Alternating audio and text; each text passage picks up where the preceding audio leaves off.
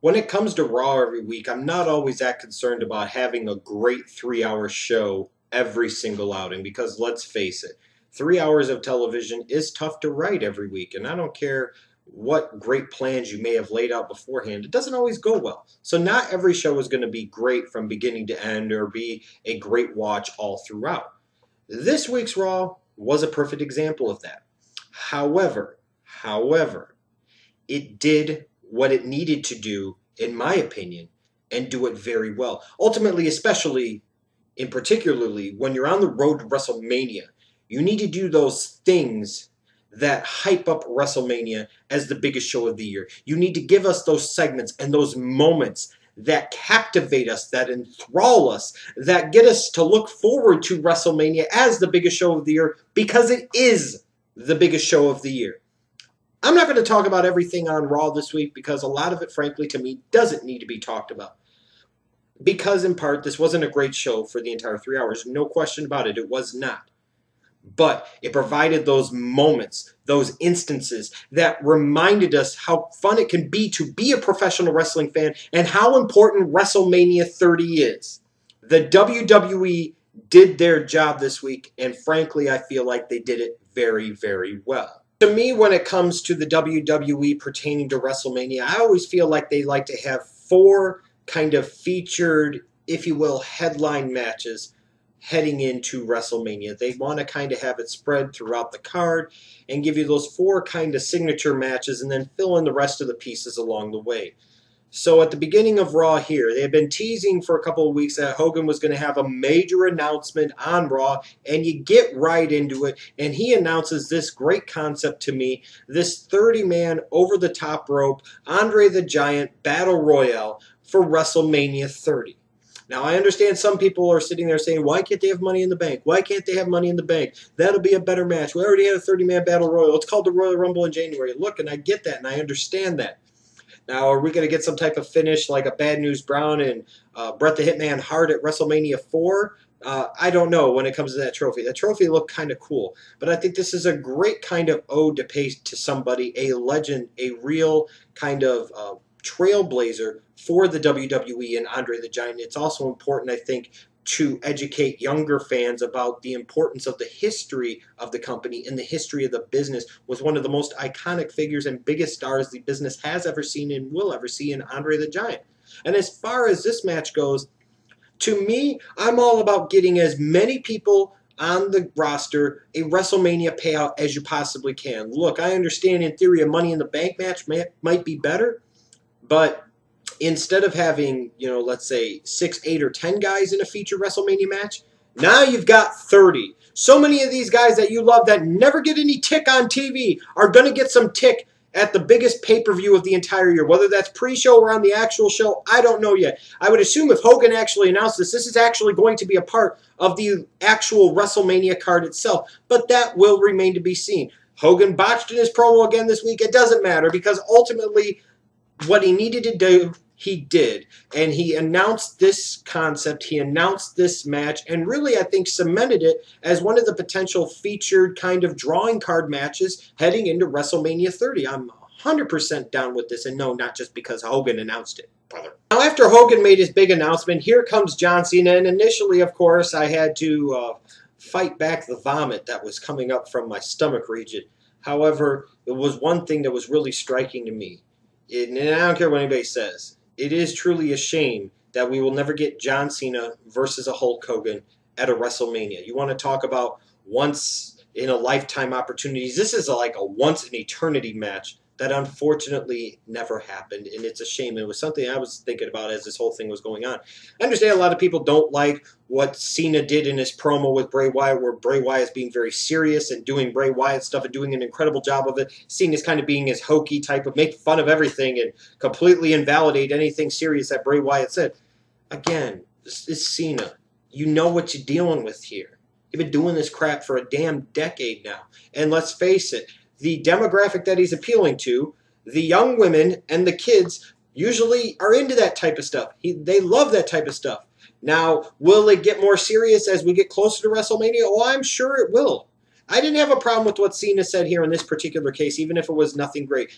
I actually think now that I've seen it a little bit more that there's an incredibly interesting dynamic working between Bray Wyatt and John Cena and makes it a perfect kind of featured feud heading into WrestleMania 30. He faces Eric Rowan and they have their match and that's all fine and good.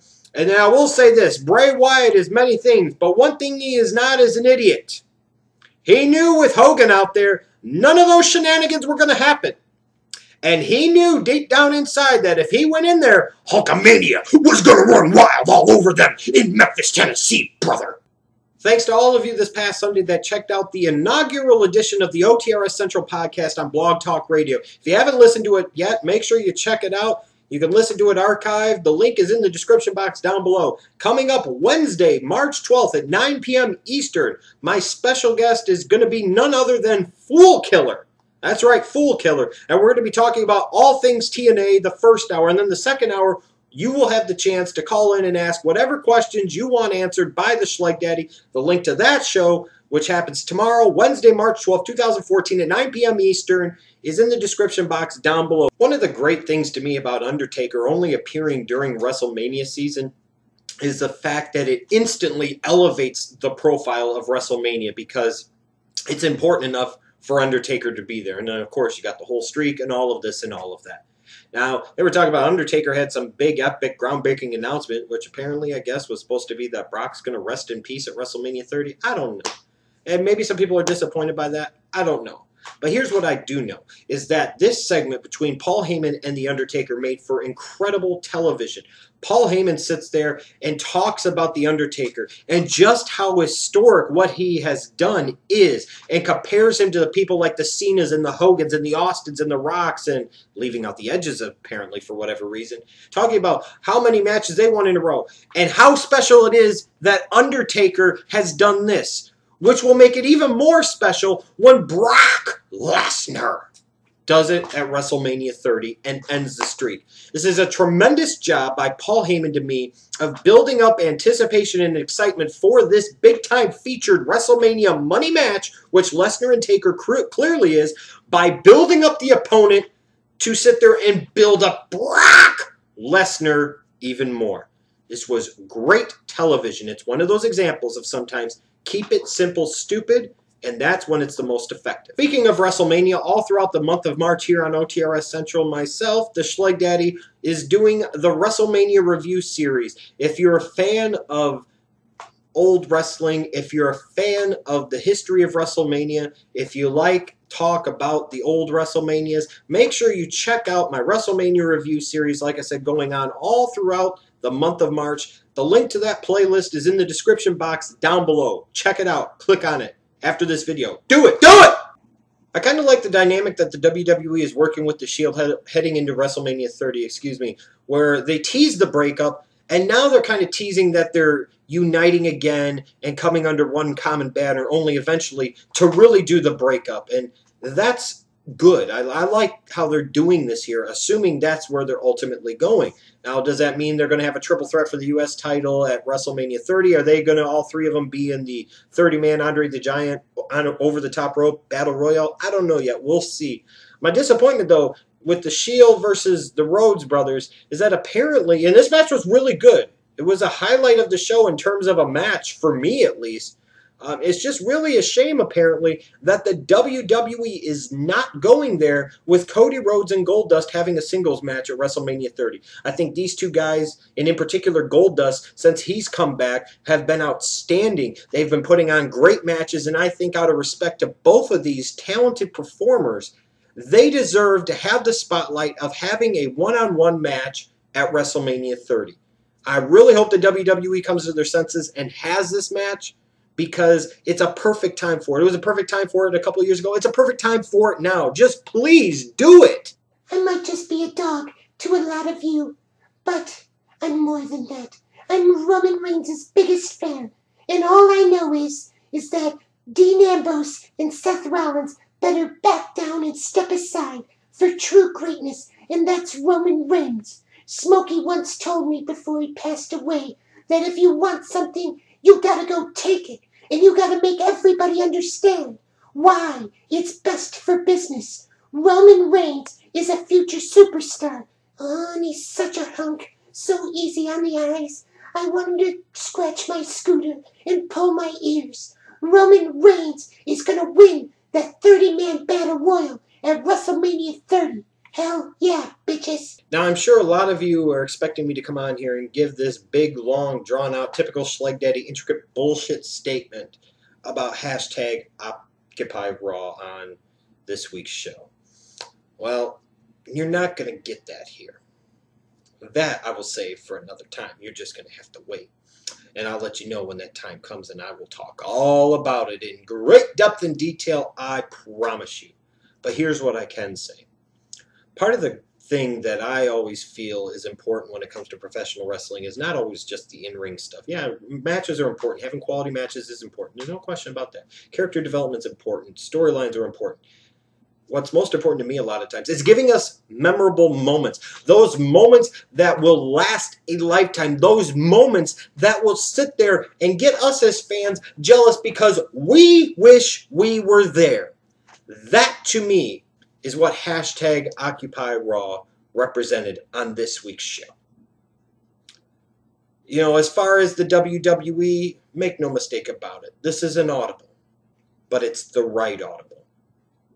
Make no mistake about it, to me, I still feel some uncertainty about the what the WWE ultimately has planned. And I will, like I said, I promise sometime this week, talk about it in great depth and detail and let you know when I do.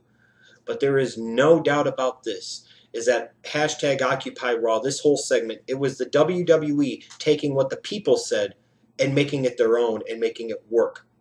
And that's what Vince McMahon's ultimate genius is, is taking other people's ideas, doing it his way, and making it better. And that's exactly what he did. He took ownership of it and he made it work for him because he's a fucking genius. That's why.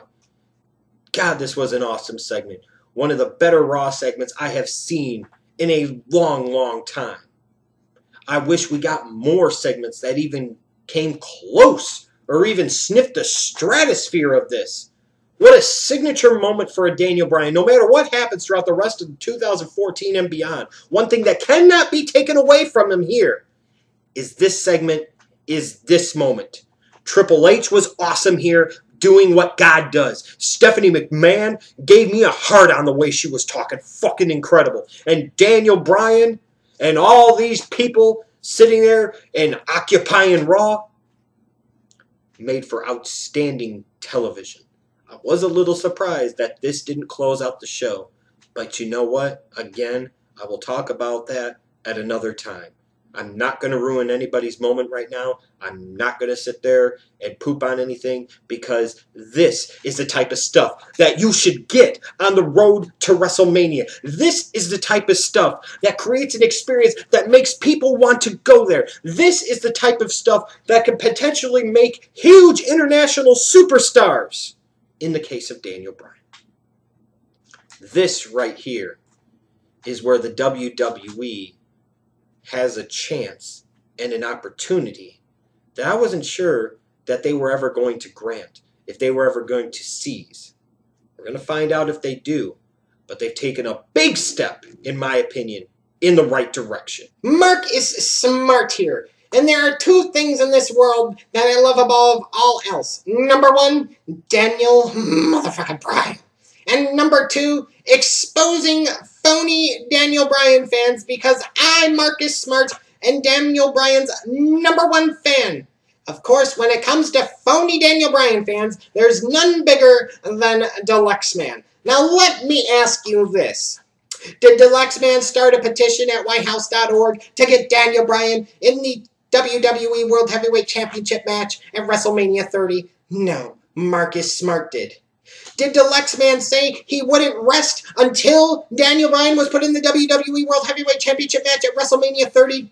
No, Marcus Smart did. In fact, that poser wannabe Dalyxman, Daniel Bryan fan, sat there and said he would be okay with Triple H and Daniel Bryan at WrestleMania 30, and that's it. No, I say that's ridiculous and that's stupid. If Bret Hart, as great and awesome of a legend as he was, can do two matches at WrestleMania 30. Me personally, I think Daniel Bryan should do three matches at WrestleMania 30. first he should beat God to open the show. You know, Triple H is God, and that's all fine and good. But even God isn't Daniel Bryan because Daniel Bryan is one of the best motherfucker wrestlers in the world. And then in the middle of the show, we get a surprise appearance out of the crowd by CM Punk. And then another surprise appearance by AJ Styles. And then Daniel Bryan comes out and puts his title shot on the line. And then they have a 60 minute triple threat Iron Man classic. That would be a five star epic match that could only be better if it was in Japan.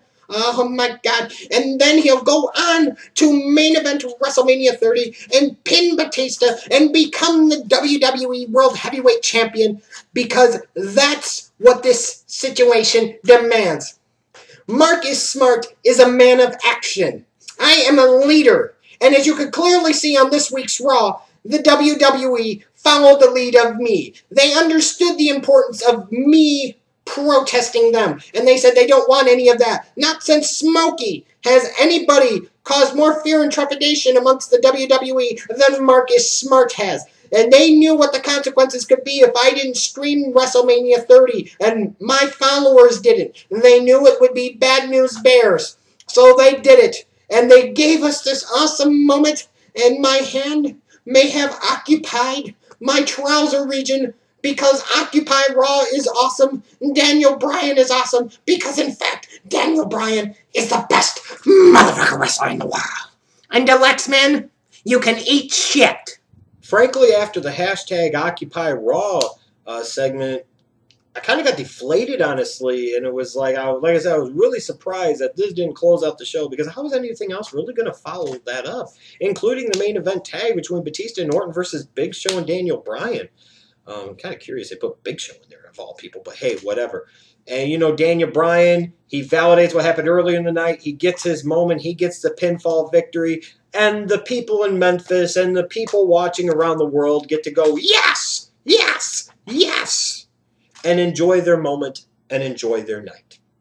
And ultimately, that's what I look for on the road to WrestleMania.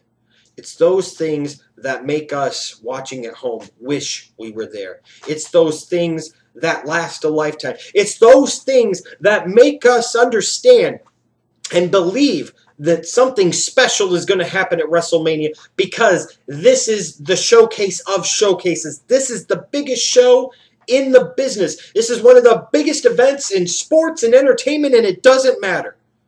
And like I said, this was not a great Raw in terms of a lot of great in ring action and three hours of awesomeness all throughout that kept me captivated. No, and it didn't need to be. The WWE did their job in my eyes this week and did it very, very well.